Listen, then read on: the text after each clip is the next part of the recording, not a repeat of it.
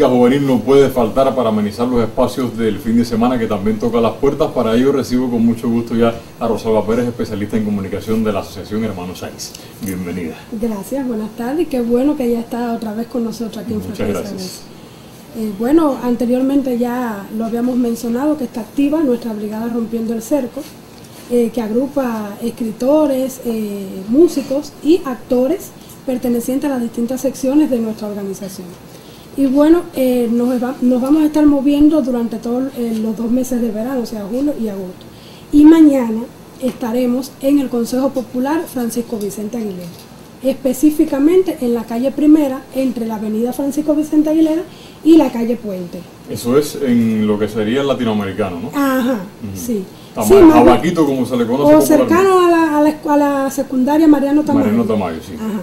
Esto va a ser a las 6 de la tarde, pero queremos reiterarle al público, como otras veces eh, estamos insistiendo, que por favor sean pacientes, que aunque nosotros tengamos una programación para las 6 de la tarde, estamos en un contexto también súper complejo. Eh, pedirles disculpas también a, los compañeros de la comunidad eh, Camilo Cienfuego, de la calle 21, entre Milanés y Vallamesa. Teníamos pensado llegar el viernes pasado, se dijo aquí, a esta comunidad, pero objetivamente no lo pudimos hacer, tuvimos que suspender porque se enfermaron los artistas. O sea, este virus que anda también nos está golpeando a nosotros y era imposible que eh, eh, llegarnos hasta allí porque la mayoría de los artistas se sentían mal, claro. No, estaban estaban muy muy mal con este virus, pero aparte tenían un amplio repertorio, o sea, que no era que iba a actuar una sola persona, sino que eh, ellos mismos iban a repetir una, una actuación y otra y otra y fue la decisión que se tomó de simplemente no llegar para no afectar la salud y precisamente poder cumplir con el resto del cronograma que tenemos. esperamos que mejoren entonces y que puedan estar. Exactamente, pero también van a estar, se van a mantener las propuestas de la casa. O sea, vamos a llegar a las comunidades, pero se mantiene para el sábado a las 9 de la noche el espacio electrónico que eh, con la noche de cubanía se intensifica más el público porque son varias personas que llegan buscando dónde quedarnos para disfrutar de ese sábado de cubanía.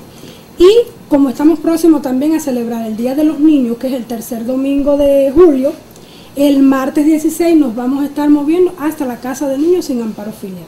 Allí vamos a llevar un, repertorio que tenemos nosotros de nuestros artistas, porque no solamente hacen arte joven, o sea, son jóvenes, pero que también se dedican a trabajar con niños. Allí van a ir eh, pertenecientes de las artes escénicas, con un espectáculo para ellos y eh, músicos también de nuestra asociación. Qué bien, muchísimas gracias Rosalba por estas propuestas, que se disfrute el fin de semana con el arte joven granmense y después de la pausa usted no se vaya porque vamos a conocer lo que se perdió, que aquí lo puede encontrar.